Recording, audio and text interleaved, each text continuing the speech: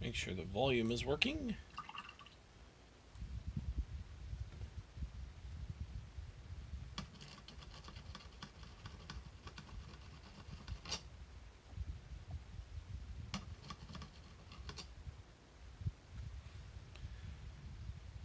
Assuming this, there we go. Good, volume is working wonderfully. That there. All right, so I'm going to go ahead and get started. Um, as the description says, just a simple stream today. Uh, if you didn't see the post I put up on the discussion section of the YouTube page, um, during the Olympics, I'm going to be streaming at noon on Tuesday and Thursday instead of in the evening on Monday and Wednesday. Um, this is so that I can still watch the primetime coverage of the Olympics. And maybe some of you I like that as well. But regardless, here we are. We're going to paint a pink horror. Um, I've already started because of drying time. I didn't want to put this first contrast color on and then have to wait all day. So this is a Wraithbone primer and then Volupus pink over the top of that. So now we'll get into the actual painting. So we're going to start with the very appropriately named Pink Horror. But we're not going to apply it with a brush. We're going to apply it with a sponge. And this is because, just, just uh, for reference, this is just a piece of pluck foam. Any kind of sponge stuff will do. You can use an actual sponge from like the dollar store or the grocery store. Or I use pluck foam because I have it around. So we're just going to dip that in the paint. And then dab it off on our paper towel. And then just come in and start putting it on here. And the way we're applying this one um, a lot of people use sponge for texturing and weathering and stuff. But the way we're applying this with this sponge is we're doing basically a dry brush, but we're doing it without the streaking that can come from dry brushing sometimes. And I know if you're careful, you can avoid the streaking, but having to paint like, I don't know, a bunch of these guys, however many there are, I can't remember, in the army, um, I don't want to have to be careful. I want to just be able to go to town. And so this sponging this on instead of dry brushing means we won't have streaks. We'll just have little tiny like dots of texture. And that on a living demon creature is fine because it'll just look like bumps or little things on his skin or whatever. But if we don't get those little bumps, right, as you can see right here, we'll just have a nice smooth pink, but while still leaving the wash, or in this case the contrast paint, in the cracks. So that's why we're using this sponge instead of dry brushing. As you can see, we have no streaks anywhere. We just have this nice, nice color, and if we don't have the color, it just looks like little dots on the skin. So then that will dry almost immediately, just like a dry brush, so we're good there. We can go on to the next color. We're going to use Pixie Pink from the Army Painter. This is a, a brighter pink than the pink horror we just used. I'm just going to put a little dab of this on a piece of paper here. And then I'm just going to use the same bit of sponge. Make sure to get this new color on the sponge properly. And then I'm just going to start same thing again. Being gentle because I don't want the I don't want this new paint to go into the recesses. I just want to basically highlight what we just did.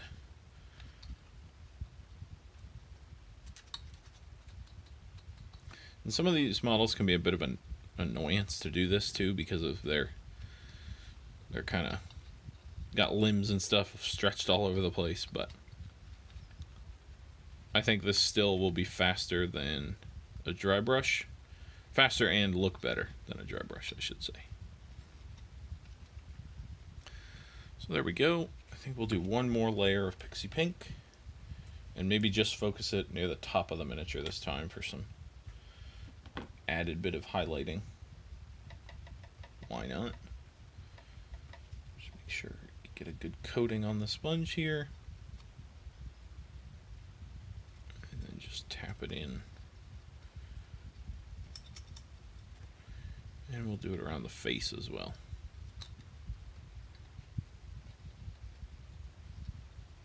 There we go. There's our pixie pink. A little more focused towards the top of the miniature and around the face. Good. So now we're going to go on to our next contrast paint, which is Leviadon Blue. And this is going to be the inside of the mouth as well as the uh, tongue sticking out. Just gonna get this in here. And this is the, the darkest blue contrast that they make. And I'm using this, one, because it the blue contrasts well with the pink, but also because it's so dark, it will, in the mouth, will look almost black. And so it's good for like looking into a demon's mouth. But then on the tongue will appear blue. So we'll still get that nice contrast. So it basically just saves us having to do two colors. We can just do the one and get everything that we need out of it. And then I'm just going to rinse my brush to get the paint off and then get some just on the tip here. And I'm just going to do the eyes in this same color.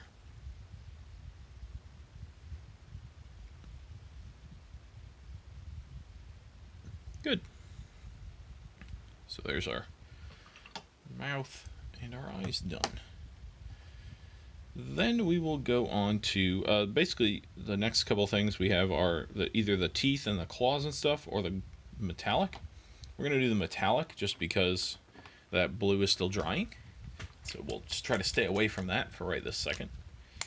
And we'll do the gold. So we're using a Retributor armor for this. It's my go-to gold.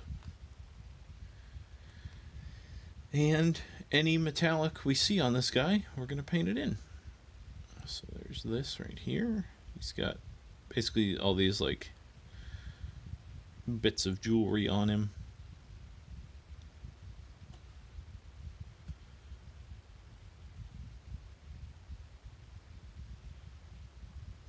Go.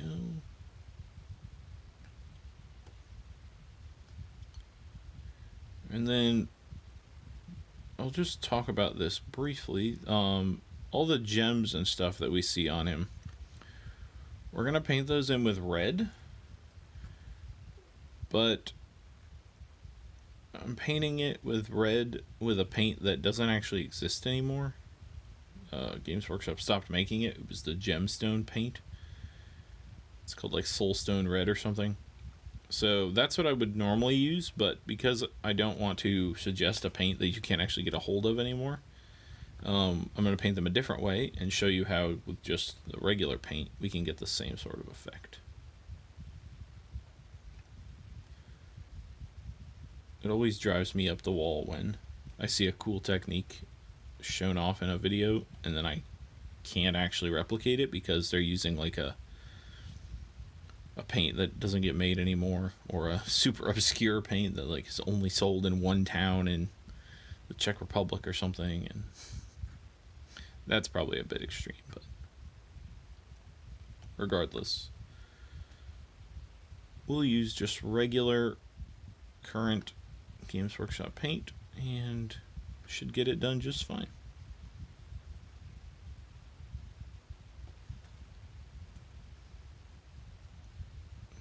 and this hand jewelry here.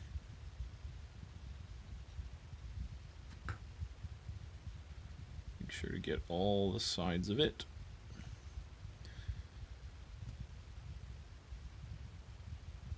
I think this guy is supposed to be the uh, the leader of the pink horrors, so he's got more jewelry than the average pink horror.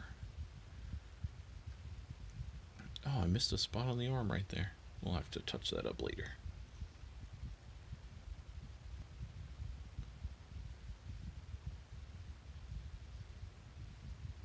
Um, if you wanted to save some time on this paint job, you could apply the volupus pink that I did with an airbrush.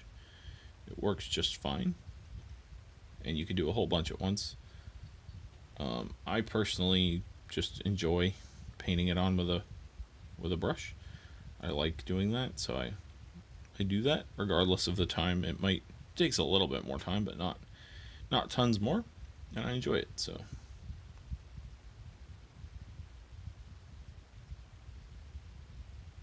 There we go.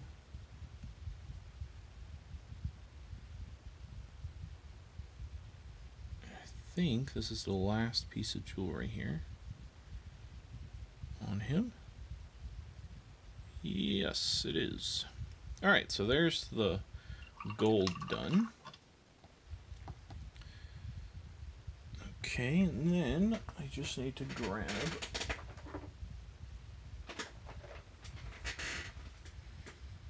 There we go.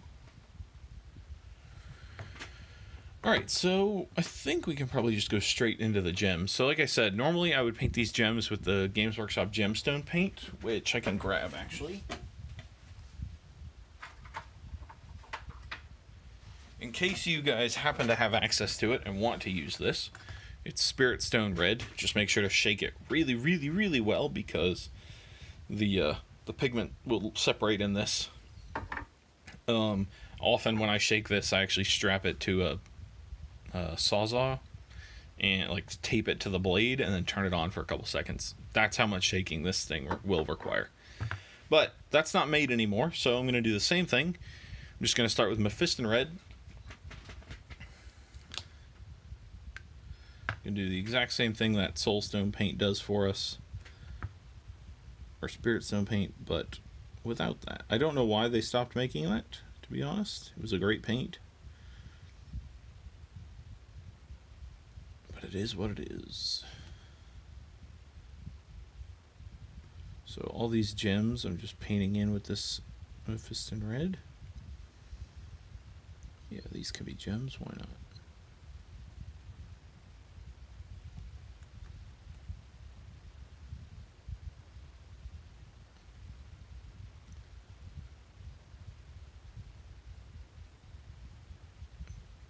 If you're painting these guys, just double check for rings. They have rings sometimes that like to hide in their skin. Alright, this one right here. Alright. I think that's all of them. So we'll let that dry and then we'll come back and do the next step on there. Uh, so we're now we're going to do the teeth and the claws. For that, we're going to use Rakarth Flesh.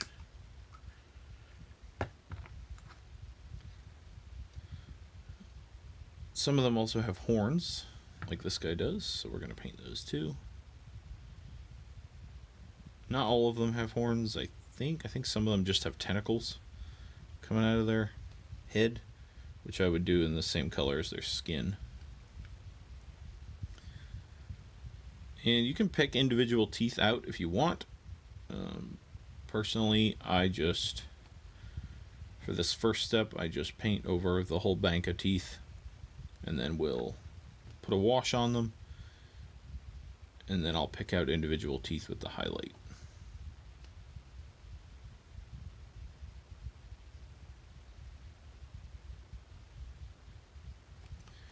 Make sure to get the inside of the teeth as well.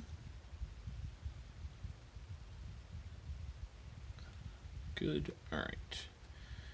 So then we'll do claws. I'm not going to paint this skull that's on his base because that'll get covered when I do the base texture anyway. And then any bits of it that are sticking up after that, I will go back and paint them. But I'm not going to waste time painting it now if I'm just going to cover most of it later.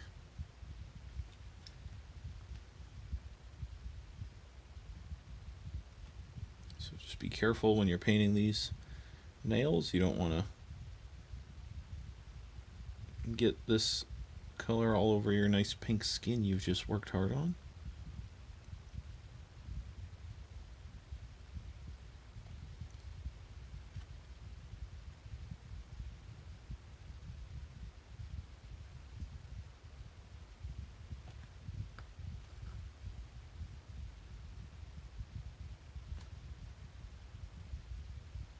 Also, if you wanted to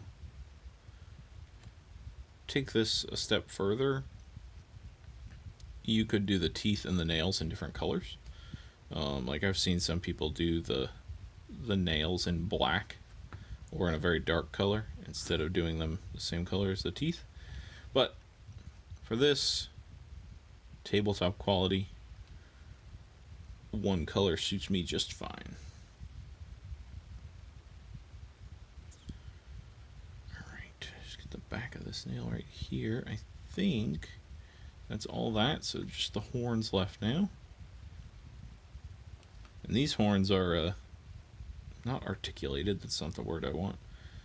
They're segmented, I guess. Um, and so they're going to take the wash that we put on these really well, so that's nice.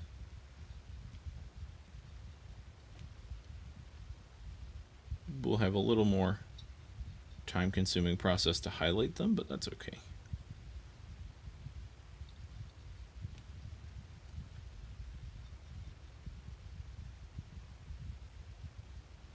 Make sure to paint all the way down to the base of these horns, but not to paint onto the skin. Sometimes also they will have little pieces of jewelry around the bottom of their horn, so if that's there, make sure to pay attention and to paint that gold. Alright, so that's that for the nails and teeth. Now we're going to go back to our gems, and we're going to take this Storm Shield Technical Paint,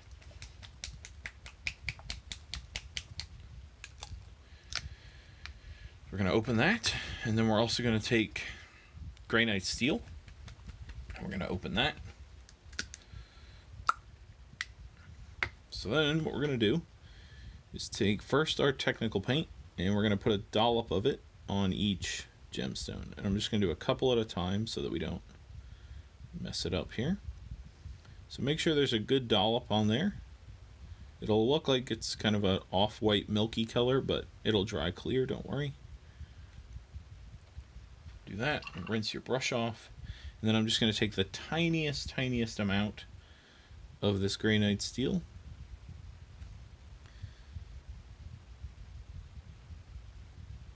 and touch the bubble of Storm Shield that we had. And it's not even going to color this, really. You won't see the granite steel. But what you're doing is depositing the little bits of mica from the granite steel into this storm shield to really help the shine on these gemstones. Just making sure again that you use the tiniest, tiniest amount of gray granite steel. So we're going to do this again on these. Put a dollop of it on each gem. Rinse the brush off. And then just the tiniest amount of gray granite steel.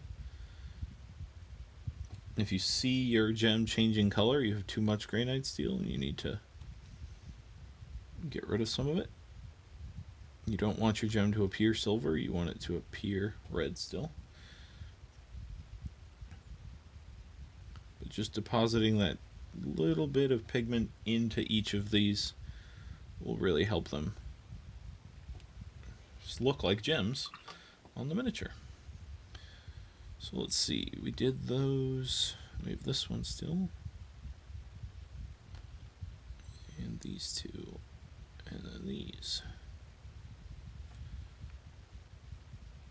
And the great thing about these gems is that they're in inlaid in a metallic color. They're inlaid in gold.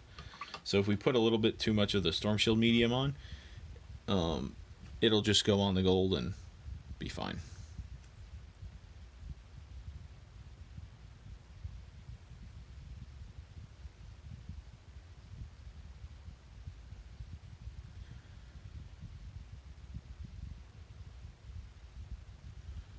Go. Oh, we didn't do this one down here. Almost made a mistake there. Do not make sure your brush is nice and rinsed off before you dip it back in your Storm Shield pigment. You don't want to be depositing that metallic pigment into your Storm Shield.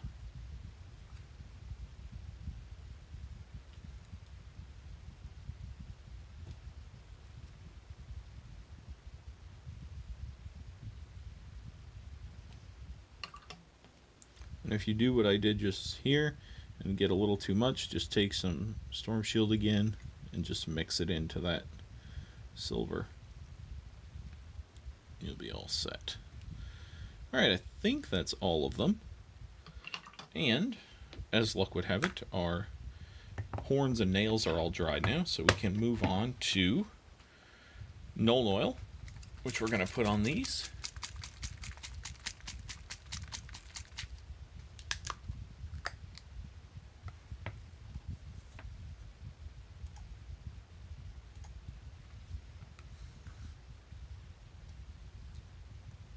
So we're just going to take this and put it on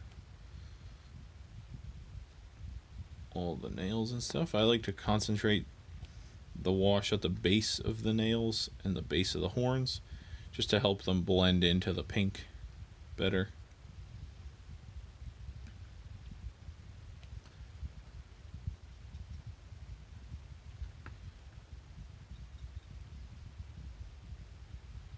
That looks good. Also going to do this on the gold, this wash, but I'm not going to do it yet because we just finished painting those gemstones. We don't want to mess up that, the drying of the gemstones there.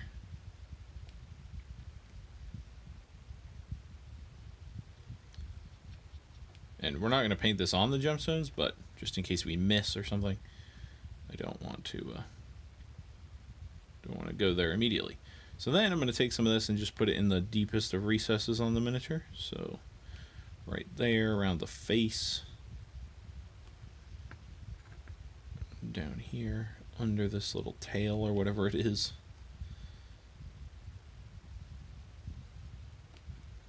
And this is just to help add some definition to the muscles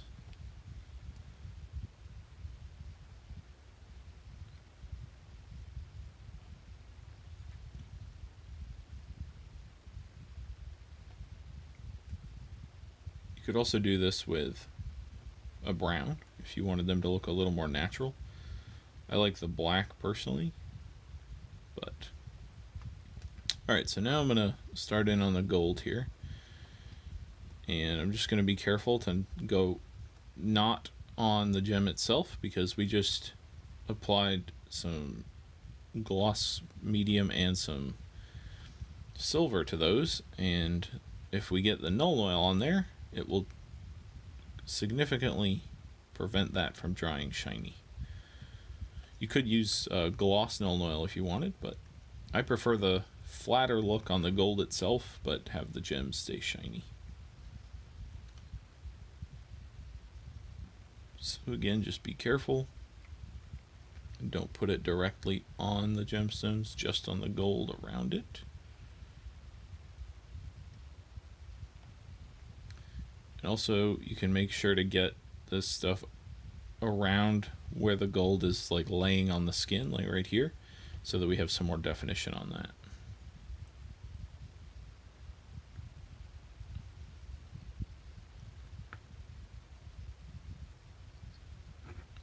Back here.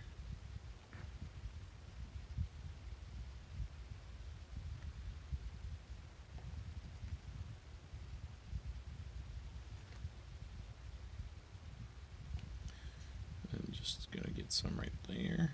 There we go. All right, so that's that. We just have one more step basically. Oh, missing some definition in the horn there. All right, our wash might be a little wet still, but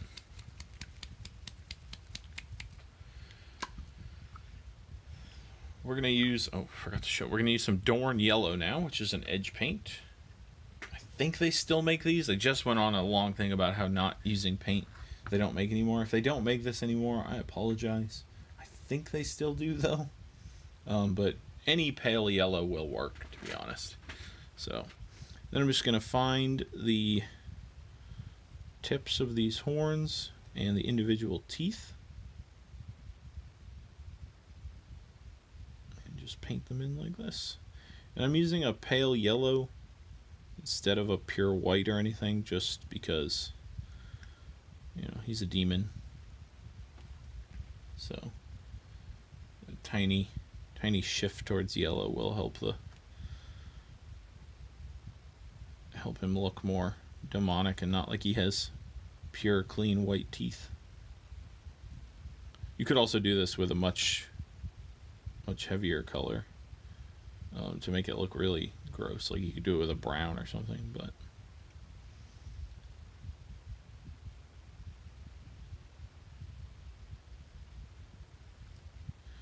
I'm just going through and grabbing these lines on here very quickly. Again, going for tabletop so you don't have to be super accurate with them. And then I'll just pick out a nail or two.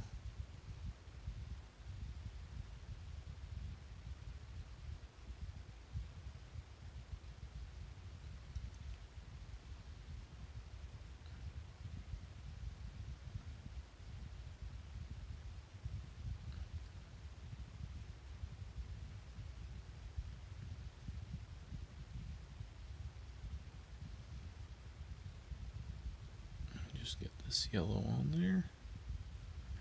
Alright, I think we're golden.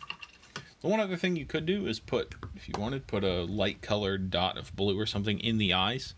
Um, I kind of like the, like, the soulless just pit of the eye. But to each their own, you could always mix it up. But in any event, that's the end of this stream.